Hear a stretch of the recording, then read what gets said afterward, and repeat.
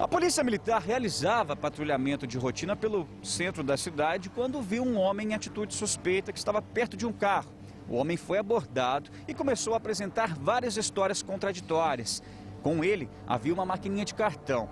Não demorou muito para ele assumir para os policiais que estava aplicando golpes pela região. Daí um dos policiais viu um outro homem jogando algo no rio. A polícia foi até esse homem e começou a conversar com ele. Perguntou o que ele havia jogado no rio. Ele disse que era sujeira, que não era nada de importante. Mas uma maquininha de cartão também foi encontrada com esse homem. Não demorou muito, ele também assumiu que era um estelionatário que estava aplicando golpes pela região. Daí, pelo extrato da maquininha, a polícia conseguiu localizar uma vítima, um senhor de 76 anos, morador de Jacuí.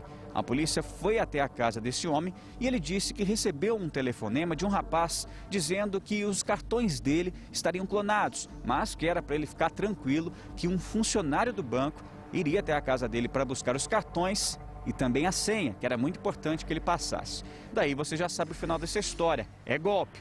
Uma pessoa que se passou por um funcionário do banco foi até a casa do homem e recolheu todos os cartões e senhas dele.